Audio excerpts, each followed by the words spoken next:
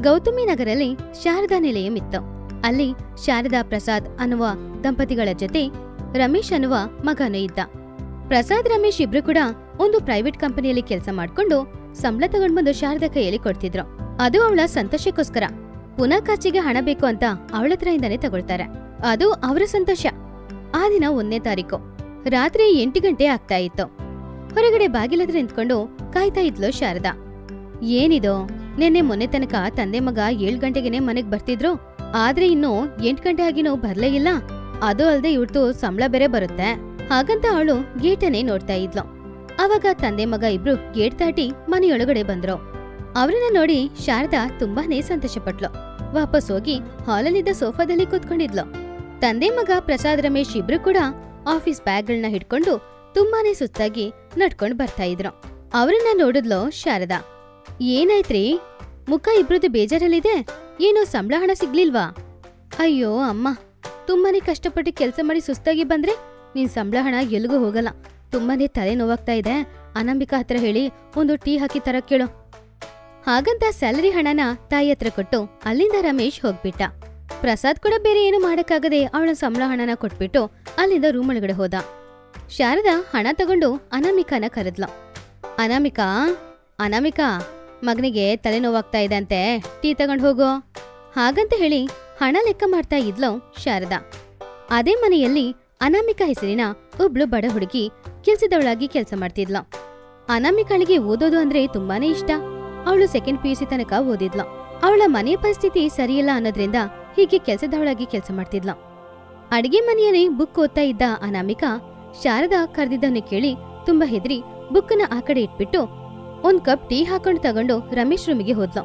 ಅನಾಮಿಕಾನ ಪ್ರೀತಿಸ್ತಿದ್ದ ರಮೇಶ್ ಅನಾಮಿಕಳಿಗೋಸ್ಕರ ಒಂದು ಗೋಲ್ಡ್ ಚೈನ್ನ ತಗೊಂಡ್ ಬಂದಿದ್ದ. ಅಯ್ಯವ್ರೆ, ಟೀ ತಗೊಂಡ್ ಬಂದಿದ್ದೀನಿ. ತಗೊಳ್ಳಿ. ಇನ್ನು ಅಯ್ಯವ್ರು ಯಾಕ ಅನಾಮಿಕಾ? ಇಲ್ಲಿ ಅಮ್ಮ ಇಲ್ವಲ್ಲ? ಅಮ್ಮನಿಗೆ ಕೊಡ್ಬೇಕಾಗ್ರ ಹಣ ಕೊಟ್ಬಿಟ್ಟೆ. ಇವಾಗ್ಲಾದ್ರೂ ಪ್ರೀತ್ಸೋನ್ ಹತ್ರ ಮಾತಾಡ್ತಾರ ಮಾತಾಡ್ಬೋದಲ್ವಾ? ಏನೋ ನೀನು. ಇಲ್ಲಿ ನೋಡು, ನಿನ್ಗೋಸ್ಕರ ಗೋಲ್ಡ್ ಚೈನ್ ತಗೊಂಡ್ಬಂದಿದ್ದೀನಿ ನಾನು ಹಾಕ್ತೇನೆ. ಹಾಗಂತ ರಮೇಶ್ ಅನಾಮಿಕಾ ಕುತ್ತಿಗೆಯಲ್ಲಿ ಆ ಗೋಲ್ಡ್ ಚೈನ್ ಹಾಕ್ತಾ ಇದ್ದ. ಅಷ್ಟೊಳಗೆ ಶಾರದಾ ರಮೇಶ್ನ ರೂಮಿಗೆ ಬಂದ್ಲು. ರಮೇಶ್ ಅನಾಮಿಕಾ ಕುತ್ತಿಗೆಯಲ್ಲಿ ಚೈನ್ ಹಾಕದನ್ನ ನೋಡೇ ಬಿಟ್ಲು. ಅಷ್ಟೇ, ಜೋರಾಗಿ ಕಿಚ್ಚಿದ್ಲು. ಏನೋ ರಮೇಶು, ಏನ್ ನಡೀತಿದೆ ಇಲ್ಲಿ? ಈ ಅನಾಮಿಕಾನ ನೀನು ಪ್ರೀತಿಸ್ತಿದ್ಯಾ? ಅವಳು ನಮ್ಮ ಮನೆ ಕೆಲ್ಸದವಳು ಅಮ್ಮ, ಅನಾಮಿಕಾನ ಕೆಲ್ಸದವಳು ಅಂತ ನೀನ್ ಹೇಳ್ತೀಯಾ? ಕೆಲ್ಸ ಗೊತ್ತಿರೋವಳು ಅಂತ ನಾನ್ ಹೇಳ್ತೀನಿ. ನಿನಗೋಸ್ಕರ ಲಕ್ಷಗಟ್ಲೆ ವರದಕ್ಷಿಣೆ ತಗೊಂಡ್ ಬರೋ ಹುಡುಗಿನ ನೋಡ್ತಿದ್ದೀನಿ ಕಣ ನಾನು. ನಿನಗೆ ಲಕ್ಷ ಬೇಕು, ನನಗೆ ಲಕ್ಷಣ ಬೇಕು. ಅದು ಅನಾಮಿಕ ಹತ್ರ ಜಾಸ್ತಿನೇ ಇದೆ. ನೀನು ಅನಾಮಿಕನ ಮದುವೆ ಮಾಡ್ಕೊಳ್ಳೋದ್ರಲ್ಲಿ ನಂಗೆ ಇಷ್ಟ ಇಲ್ಲ. ನನಗೆ ಮದುವೆ ನಡೆದ್ರೆ ಅದು ಅವಳ ಜೊತೆನೆ ಅಮ್ಮ. ಹಾಗೆ ತಾಯಿ ಮಗನಿಗೆ ದೊಡ್ಡದಾಗಿ ಜಗಳ ನಡೀತಾನೆ ಇತ್ತು. ಅಷ್ಟೊಳಗೆ ಪ್ರಸಾದ್ ಆ ಶಬ್ದ ಕೇಳಿ ಅಲ್ಲಿಗೆ ಬಂದ. ಅನಾಮಿಕ ವಿಷಯದಲ್ಲಿ ಶಾರದಾ ರಮೇಶ್ ಇಬ್ರಿಗೂ ಜಗಳ ನಡೀತಿದೆ ಅಂತ, ರಮೇಶ್ ಅನಾಮಿಕನ ಪ್ರೀತಿಸ್ತಿದ್ದಾನೆ ಅಂತ ಅವಳನ್ನೇ ಮದುವೆ ಮಾಡ್ಕೊಳ್ಬೇಕು ಅಂತ ಅಂದ್ಕೊಂಡಿದ್ದಾನೆ ಅನ್ನೋ ವಿಷಯ ಅವನಿಗೆ ಗೊತ್ತಾಯ್ತು.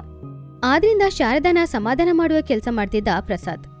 ಆದ್ರೆ ಶಾರದಾ ಒಪ್ಕೊಳ್ಳಿಲ್ಲ ಮೊದ್ಲು ಇದಕ್ಕೆಲ್ಲ ಕಾರಣ ಈ ಹಾಳಾಗೋದೋಳಲ್ವಾ ಹಾಗಂತ ಶಾರದಾ ಅನಾಮಿಕನ ಹಿಡ್ಕೊಂಡು ಅವಳ ಕೆನ್ನೆಗೆ ಬಾರಿಸ್ತಿದ್ಲು. ಅನಾಮಿಕಾ ಏನು ಮಾತಾಡ್ದೆ ಹಾಗೇನೆ ನಿಂತ್ಕೊಂಡಿದ್ಲು. ಅದನ್ ನೋಡಿ ರಮೇಶ್ಗೆ ತುಂಬಾ ಕೋಪ ಬಂತು. ತಾಯಿಯ ಪಕ್ಕದಲ್ಲಿದ್ದ ಅನಾಮಿಕನ ಅವನ ಕಡೆ ಎಳ್ಕೊಂಡ. ಅದನ್ನ ನೋಡಿ ಶಾರದಾ ತುಂಬಾ ಬೇಜಾರ್ ಮಾಡ್ಕೊಂಡ್ಲು.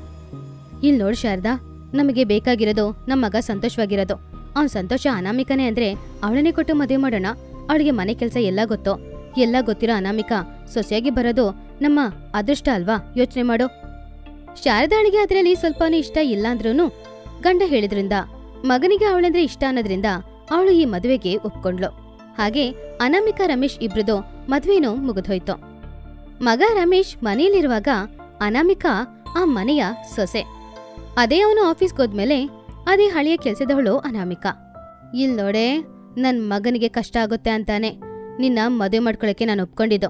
ಅವನಿಗೆ ಇಷ್ಟ ಇಲ್ದ ಹಾಗೆ ನಡ್ಕೊಂಡು ಮನೆ ಬಿಟ್ಟು ಹೊರಗಡೆ ಹೋಗ್ಬಿಡು ಇಲ್ಲ ಅಂದ್ರೆ ಇಲ್ಲಿ ಎರಡು ಸಿಲಿಂಡರ್ ಇದೆ. ಅದರಲ್ಲಿ ಒಂದು ಯಾವಾಗ ಬೇಕಾದ್ರೂ ಸಿಡಿಬೋದು. ಅರ್ಥ ಆಗ್ತಾ ಇದೆ ನಿನಗೆ? ಅದನ್ನು ಕೇಳಿ ಅನಾಮಿಕಾ ಶಾಕ್ ಆದ್ಲು. ಇಸ್ತ್ರಿ ಪೆಟ್ಟಿಗೆಗಳು ಎರಡಿದೆ. ಯಾವಾಗ ಬೇಕಾದ್ರೂ ಅದರಲ್ಲಿ ನಿನ್ ಮೈ ಸುಟ್ಟೋಗ್ಬೋದು ಬಾತ್ ಟಬ್ ಒಂದೇ ಇದೆ. ಅದರಲ್ಲಿ ಗೊತ್ತಿಲ್ಲದೆ ಕರೆಂಟ್ ವೈರ್ ಬಿದ್ದೋಗ್ಬೋದು. ಇಲ್ಲ ಯಾವಾಗ್ಲಾದ್ರೂ ಒಂದಿನ ಹಾವು ಬಂದು ಕಚ್ಬಿಟ್ಟು ಹೋಗ್ಬೋದು. ಅದೆಲ್ಲವನ್ನು ಕೇಳಿ ಅನಾಮಿಕಾ ತುಂಬಾನೇ ಹೆದರಿಬಿಟ್ಲು. ಆವಾಗ್ಲೇ ವಾಪಸ್ ಬಂದ ರಮೇಶ್ ಕೂಡ ಆ ಮಾತನ್ನೆಲ್ಲ ಕೇಳಿಸ್ಕೊಂಡ. ಈ ಮನೆಯಲ್ಲಿ ಅನಾಮಿಕಾ ಸೇಫ್ ಆಗಿರಲ್ಲ ಅಂತ ಅವಳ ಪ್ರಾಣಕ್ಕೆ ಅಪಾಯ ಇದೆ ಅಂತ ಬೇರೆ ಸಂಸಾರ ಇಟ್ಬಿಟ್ಟ. ಒಂದ್ ಮನೆನ ಬಾಡಿಗೆಗೆ ತಗೊಂಡ. ಹಾಗೇನೆ ದಿನಗಳು ಹೋಗ್ತಾ ಇತ್ತು. ಮಗ ಸೊಸೆ ಇಲ್ದೇ ಇರುವ ಆ ಮನೆ ಯಾವ ಸಂತೋಷನೇ ಇಲ್ಲದ ಒಂದು ವೃದ್ಧಾಶ್ರಮ ತರ ಇತ್ತು. ಶಾರದಾ ಪ್ರಸಾದ್ ಒಬ್ರು ಮುಖನ ಇನ್ನೊಬ್ರು ನೋಡ್ಕೊಳ್ತಿದ್ರು. ಒಂದಿನ ಅನಾಮಿಕ ಮನೇಲಿ ಇಲ್ದೇ ಇರೋ ಸಮಯದಲ್ಲಿ ಆಫೀಸ್ ಮುಗಿಸ್ಕೊಂಡು ಬಂದ ರಮೇಶ್. ಆವಾಗ ಮನೆ ಹೊರಗಡೆ ಇದ್ದ ಒಂದು ಬೆಂಚಲ್ಲಿ ಐಎಎಸ್ ಬುಕ್ ಒಂದು ಇತ್ತು. ಕೋಚಿಂಗ್ ಸೆಂಟರ್ ಅಪ್ಲಿಕೇಶನ್ ಫಾರ್ಮ್ ಕೂಡ ಅದರಲ್ಲಿತ್ತು. ಆವಾಗ ರಮೇಶ್ಗೆ ಚೆನ್ನಾಗಿ ಅರ್ಥ ಆಯ್ತು. ತನ್ನ ಹೆಂಡತಿ ಅನಾಮಿಕಾ ಅವನಿಗೆ ಗೊತ್ತಿಲ್ಲದೆ ಐಎಎಸ್ಗೆ ಪ್ರಿಪೇರ್ ಆಗ್ತಿದ್ದಾಳೆ ಅಂತ. ಅವನು ಕೂಡ ಏನು ಗೊತ್ತಿಲ್ಲದ ಹಾಗೇನೆ ಇದ್ಬಿಟ್ಟ. ಒಂದಿನ ರಾತ್ರಿ ರಮೇಶ್ ನಿದ್ದೆ ಮಾಡ್ತಿದ್ದ. ಅನಾಮಿಕಾ ಶಬ್ದ ಮಾಡದೆ ಅಲ್ಲಿಂದ ಹಾಲ್ಗೆ ಬಂದು ಹಾಲಲ್ಲೇ ಕೂತ್ಕೊಂಡು ಟೇಬಲ್ ಲೈಟ್ ಹಾಕೊಂಡು ಓದ್ಕೊಳ್ತಿದ್ಲು. ಒಂದು ಅರ್ಧ ಗಂಟೆ ಸಮಯದ ನಂತರ ರಮೇಶ್ ಎದ್ದು ಬೆಡ್ರೂಮ್ ಬಾಗಿಲ ಹತ್ರ ನಿಂತ್ಕೊಂಡು ಓದ್ಕೊಳ್ತಿದ್ದ ಅನಾಮಿಕಾನ ನೋಡ್ದ. ಅನಾಮಿಕಾ ಅದನ್ನ ಗಮನಿಸದೆ ಐಎಎಸ್ ಎಕ್ಸಾಮ್ಗೆ ಪ್ರಿಪೇರ್ ಆಗ್ತಾ ಇದ್ಲು. ಹಾಗೇ ದಿನಗಳು ಹೋಗ್ತಾ ಇತ್ತು. ಮಗ ಸೊಸೆನ ಬಿಟ್ಬಿಟ್ಟು ಇರಕ್ಕಾಗ್ದೇ ಇದ್ದ ಪ್ರಸಾದ್, ಶಾರದಾ ಇಬ್ರು ಮನಸ್ಸನ್ನ ಬದಲಾಯಿಸ್ಕೊಂಡ್ರು. ರಮೇಶ್ ಹತ್ರ ಅವರು ವಾಪಸ್ ಬಂದ್ರು. ನಡೆದಿದ್ದಕ್ಕೆ ಕ್ಷಮಾಪಣೆ ಕೇಳಿದ್ರು. ಶಾರದಾ ಅನಾಮಿಕಾನ ಕ್ಷಮಿಸ್ಬಿಡಮ್ಮ ಅಂತ ಕೇಳಿದ್ಲು. ಪುನಃ ಎಲ್ರು ಒಟ್ಟಿಗೆ ವಾಸ ಮಾಡ್ತಿದ್ರು. ಆ ಕುಟುಂಬದವರು ಸಂತೋಷವಾಗಿದ್ರು. ಒಂದಿನ ಬೆಳಗ್ಗೆನೆ ನ್ಯೂಸ್ ಪೇಪರ್ ತಗೊಂಡು ರಮೇಶ್ ಮನೆಗೆ ಬಂದ. ನ್ಯೂಸ್ ಪೇಪರಲ್ಲಿ ಐಎಎಸ್ಗೆ ಸೆಲೆಕ್ಟ್ ಆದವರ ಲಿಸ್ಟ್ ಇತ್ತು. ಅದರಲ್ಲಿ ಅವನ ಹೆಂಡತಿ ಅನಾಮಿಕಳ ಫೋಟೋ ಕೂಡ ಇತ್ತು. ಅದನ್ನು ನೋಡಿ ರಮೇಶ್ ತುಂಬಾನೇ ಸಂತೋಷಪಟ್ಟ. ಆ ಪೇಪರ್ನ ತಗೊಂಡು ಬಂದು ತಂದೆ ತಾಯಿ ಹತ್ರ ತೋರಿಸ್ದ. ಅದನ್ನ ನೋಡಿ ಅವ್ರು ಕೂಡ ಸಂತೋಷಪಟ್ರು. ಅಷ್ಟರೊಳಗೆ ಅವರಿಗೆ ಟೀ ತಗೊಂಡು ಹಾಲ್ಗೆ ಬಂದ್ಲು ಅನಾಮಿಕ. ಅವಾಗ ಒಂದೇ ಸಲ ಶಾರದಾ ಪ್ರಸಾದ್ ರಮೇಶ್ ಮೂರ್ ಜನ ಒಟ್ಟಿಗೆ ಅನಾಮಿಕನ ನೋಡಿ ಅವಳಿಗೆ ಸಲ್ಯೂಟ್ ಹೊಡೆದ್ರು. ಅನಾಮಿಕಾ ಅದು ನೋಡಿ ತುಂಬಾ ಆಶ್ಚರ್ಯಪಟ್ಲು. ಏನಿದು? ಯಾಕೆ ನೀವು ಮೂರ್ ಜನ ನನಗೆ ಸಲ್ಯೂಟ್ ಮಾಡ್ತಾ ಇದ್ದೀರಾ? ಅದು ನಿನಗಲ್ಲ ಅಮ್ಮ ಸೊಸೆ ನಿನ್ನೊಳಗಡೆ ಇರುವ ಕಲೆಕ್ಟರ್ಗೆ. ಹಾಗಂತ ರಮೇಶ್ ಆ ನ್ಯೂಸ್ ಪೇಪರ್ನ ತೋರಿಸ್ದ ನಾನು ಕಲೆಕ್ಟರ್ ಆಗ್ತಿದ್ದೀನಿ ಅಂತ ಅನಾಮಿಕಾ ತುಂಬಾನೇ ಸಂತೋಷಪಟ್ಲು. ಅವಳ ಕಣ್ಣುಗಳಲ್ಲಿ ಕಣ್ಣೀರು ತುಂಬಿತ್ತು. ಅನಾಮಿಕಾ, ಏನಾಯ್ತು? ಯಾಕೆ ಅಳ್ತಾ ಇದೀಯಾ? ಅದು ಅಳೋದಲ್ಲಪ್ಪ. ಇಷ್ಟು ದಿನ ಅವಳ ಪಟ್ಟ ಕಷ್ಟಕ್ಕೆ ಪ್ರತಿಫಲ ಸಿಕ್ಕಿದೆ ಅಲ್ವಾ? ಅದಕ್ಕೆ ಸಂತೋಷದಿಂದ ಅಳ್ತಾ ಇದ್ದಾಳೆ. ಸುಮ್ನೆ ಇದ್ಬಿಡಪ್ಪ. ಸ್ವಲ್ಪ ಹೊತ್ತಲ್ಲಿ ಅವಳೇ ಸರಿಯಾಗ್ತಾಳೆ. ಹಾಗಂತ ಹೇಳಿದ ತಕ್ಷಣ ರಮೇಶ್ ಅಲ್ಲಿಂದ ಹೊರಗಡೆ ಹೋದ. ಅರ್ಧ ಗಂಟೆ ಸಮಯದ ನಂತರ ಅನಾಮಿಕಾ ಸರಿಯಾದ್ಲು. ಹಾಗೆ ಹೊರಗಡೆ ಹೋದ ರಮೇಶ್, ಶ್ರೀಮತಿ ಅನಾಮಿಕಾ ರಮೇಶ್ ಐಎಎಸ್ ಅನ್ನುವ ಬೋರ್ಡ್ ತಗೊಂಡು ಬಂದು ಅವರ ಮನೆಯ ಹೊರಗಡೆ ಹಾಕ್ತ. ಒಂದು ಊರಲ್ಲಿ ಶಾರದಾ, ಅನಾಮಿಕಾ ಅನ್ನುವ ಅತ್ತೆ ಸೊಸೆಯರು ಇದ್ರು. ಶಾರದಾ ಒಬ್ಳು ಜಿಪಣಿ, ಅನಾಮಿಕಾ ಪಾಪ ಅಮಾಯಗಳು ಯಾವಾಗ್ಲೂ ದೇವ್ರಿಗೆ ಪೂಜೆ ಮಾಡ್ತಾನೆ ಇದ್ಲು ಅನಾಮಿಕಾ. ಶಾರದಾಳ ಮಗ ರಮೇಶ್ ಒಂದು ಚಿಕ್ಕ ಹೋಟೆಲ್ನ ಇಟ್ಕೊಂಡು ನಡೆಸ್ತಿದ್ದ. ಆ ಹೋಟೆಲಲ್ಲಿ ಮಾಡುವ ಯಾವ ಅಡಿಗೆ ಅಂದ್ರೂ ಸರಿ. ಶಾರದಾ ಮನೇಲಿರೋರ್ನ ತಿನ್ನಕ್ಕೆ ಬಿಡ್ತಾನೆ ಇರ್ಲಿಲ್ಲ. ಅವಳ ಆ ಜಿಪುಣತನದಿಂದ ಅನಾಮಿಕಾ, ರಮೇಶ್ ಇಬ್ರು ಕೂಡ ಹೊಟ್ಟೆಗೂ ಸರಿಯಾಗಿ ಊಟ ಮಾಡದೆ ಕೆಲಸ ಮಾಡ್ತಿದ್ರು. ಒಂದಿನ ಶಾರದಾ ಹೀಗೆ ಹೇಳಿದ್ಲು. ಏನೇ ಸುಮ್ನೆ ಆ ಕಡೆ ಕಡೆ ಹೋಗ್ತಾ ಇದ್ಯಾ? ಅಲ್ಲಿ ಹೋಗಿ ಕಸ್ಟಮರ್ ಬರ್ತಾ ಇದ್ದಾರೆ ಬೇಗ ಪ್ಲೇಟ್ನೆಲ್ಲ ಕ್ಲೀನ್ ಮಾಡಿ ಇಡು ಹೋಗು. ಹಾಗೇನೆ ಆ ಚಟ್ನಿ ಸಂಗತಿ ಏನಂತ ನೋಡು. ಆ ವಡೆನೆ ಏನಾದರೂ ಒಂದು ಗೊತ್ತಿಲ್ಲದೆ ತಿಂದ್ರೆ ಆಮೇಲೆ ನನ್ನ ಕೈ ರುಚಿ ಹೇಗಿರುತ್ತೆ ಅಂತ ನಿನಗೆ ನಾನ್ ರುಚಿ ತೋರಿಸ್ತೇನೆ. ಅರ್ಥ ಆಯ್ತಾ ಹಾ, ಸರಿ ಅತ್ತೆ. ಸರಿ ಅಂತ ಹೇಳಿ ಯಾಕೆ ಎಮ್ಮೆ ತರ ಇನ್ನು ಇಲ್ಲೇ ನಿಂತ್ಕೊಂಡಿದ್ಯಾ? ಹೋಗೋ, ಹೋಗಿ ನಾನು ಹೇಳಿದ ಕೆಲಸ ಎಲ್ಲ ಮಾಡಿ ಹೋಗೋ.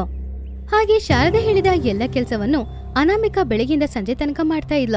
ಪಾಪ ಅದರಿಂದ ಅವಳು ತುಂಬಾನೇ ಸುಸ್ತಾಗ್ತಿದ್ಲು. ಅತ್ತೆ, ನನಗೆ ತುಂಬಾ ಸುಸ್ತಾಗ್ತಾ ಇದೆ. ನನಗೆ ಹಸುವು ಬೆಲೆ ಜಾಸ್ತಿ ಆಗ್ತಿದೆ. ನಾನು ಎರಡೇ ಎರಡೇ ಇಡ್ಲಿನ ತಿಂತೀನತ್ತೆ?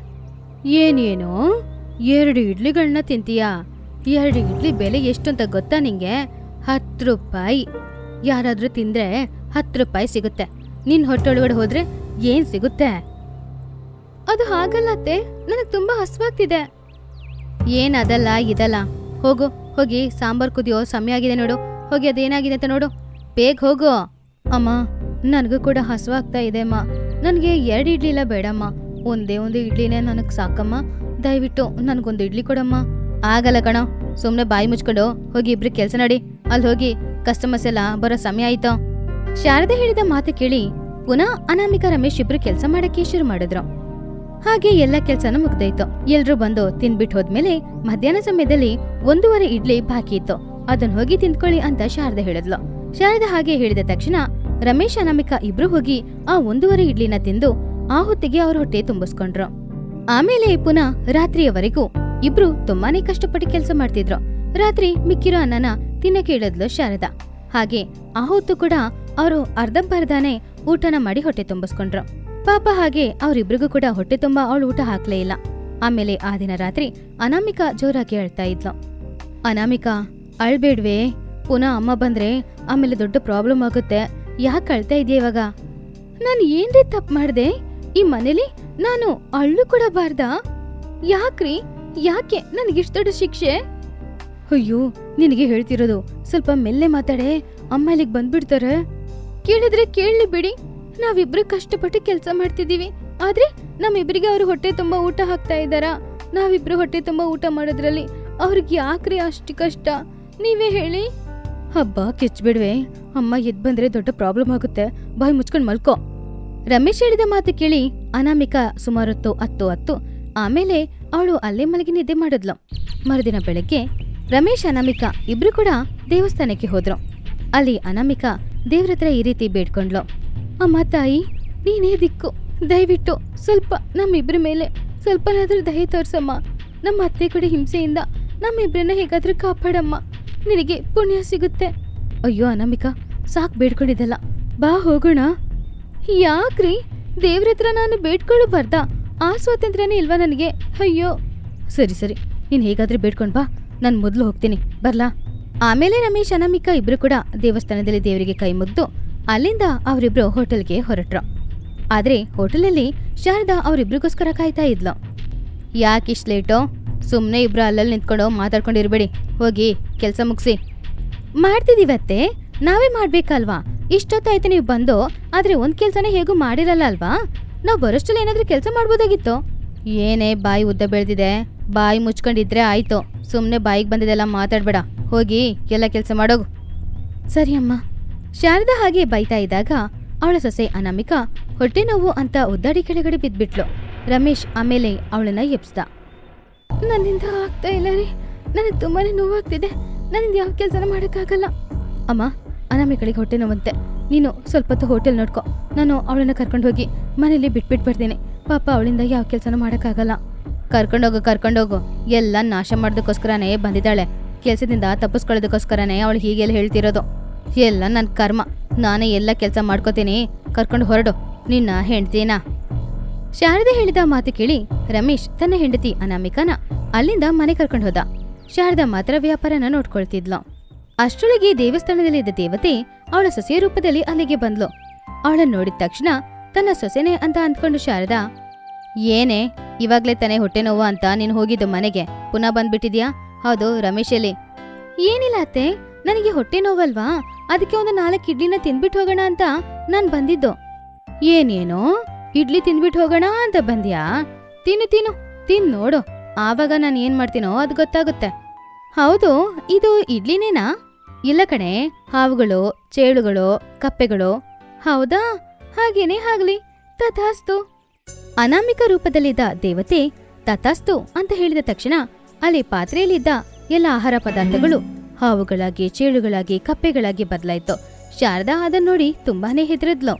ಭಯದಿಂದ ಕಿಚ್ಚದ್ಲು ಅಯ್ಯೋ, ಯಾರಾದ್ರೂ ಕಾಪಾಡಿ ನನ್ನನ್ನು ಯಾರಾದ್ರೂ ಕಾಪಾಡಿ. ಹಾಗಂತ ಶಾರದಾ ತುಂಬಾ ಜೋರಾಗಿ ಕಿಚ್ತಾ ಇದ್ಲು. ನೀವು ಎಷ್ಟೇ ಕಿಚ್ಚಿದ್ರು ಕೂಡ ಯಾರೂ ಬರಲ್ಲ.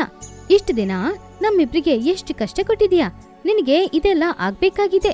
ಈ ಶಿಕ್ಷಣ ನೀನು ಅನುಭವಿಸ್ಲೇಬೇಕು. ಇದೆಲ್ಲ ನೀನು ಮಾಡಿರೋ ಕರ್ಮ. ನೀನು ಅನುಭವಿಸೇ ಆಗ್ಬೇಕು. ಯಾಕೆ ಹಾಗೆ ಮಾತಾಡ್ತಿದ್ಯಾ ನಾನು ಮಾಡಿದೆಲ್ಲ ತಪ್ಪೇ ಕಣೆ. ನಾನು ಒಪ್ಕೊಳ್ತೀನಿ. ಅದಕ್ಕೋಸ್ಕರ ಇಷ್ಟು ದೊಡ್ಡ ಶಿಕ್ಷೆ ಕೊಡ್ಬೇಡ್ವೆ. ಹೇಗಾದ್ರೂ ನನ್ನನ್ನ ಕಾಪಾಡೆ. ಅದು ಹಾಗಿರ್ಬೇಕು.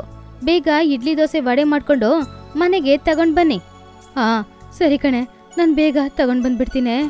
ಶಾರದಾ ಹಾಗೆ ಹೇಳಿದಾಗ ಅನಾಮಿಕಾ ರೂಪದಲ್ಲಿ ಇದ್ದ ದೇವತೆ ಅಲ್ಲಿಂದ ಹೋಗ್ಬಿಟ್ಲು. ಶಾರದಾ ಹೆದರಿ, ಏನ್ ಮಾಡೋದು ಅಂತ ಅರ್ಥ ಆಗದೆ ಸೊಸೆಗೋಸ್ಕರ ಇಡ್ಲಿ, ವಡೆ ಎಲ್ಲ ಮಾಡ್ಕೊಂಡು ಅದನ್ ತಗೊಂಡು ಮನೆಗೆ ಹೋದ್ಲು. ಆಮೇಲೆ ಮಲಗಿದ ಸೊಸೆಗೆ ಅವಳೇ ಅದನ್ನ ಕೊಟ್ಲು. ಅವಳ ಅತ್ತೆಯಲ್ಲಿ ಸಡನ್ ಆಗಿ ಬಂದಿರುವ ಬದಲಾವಣೆ ನೋಡಿ ಅನಾಮಿಕಾ ತುಂಬಾನೇ ಆಶ್ಚರ್ಯಪಟ್ಲು. ರಮೇಶ್ ಕೂಡ ಅವನ ತಾಯಿ ಅನಾಮಿಕಳಿಗೆ ಊಟ ಕೊಡ್ತಾ ಇರೋದನ್ನ ನೋಡಿ ಅವನು ಖುಷಿ ಪಡದ, ಆಶ್ಚರ್ಯ ಪಡದ ಅಂತ ಗೊತ್ತಿಲ್ಲದೆ ಹಾಗೇನೆ ನಿಂತ್ಕೊಂಡಿದ್ದ. ಅದ್ ಮಾತ್ರ ಅಲ್ಲ, ಅವನ ತಾಯಿಯ ಬದಲಾವಣೆ ನೋಡಿ ಅವನು ತುಂಬಾ ಖುಷಿಯಾದ. ಆ ದಿನದಿಂದ ಶಾರದಾ ತನ್ನ ಸೊಸೆ ಹತ್ತಿರ ಅವಳ ಜಿಪುಣತನನ ತೋರ್ಸಿದ್ದೇ ಇಲ್ಲ.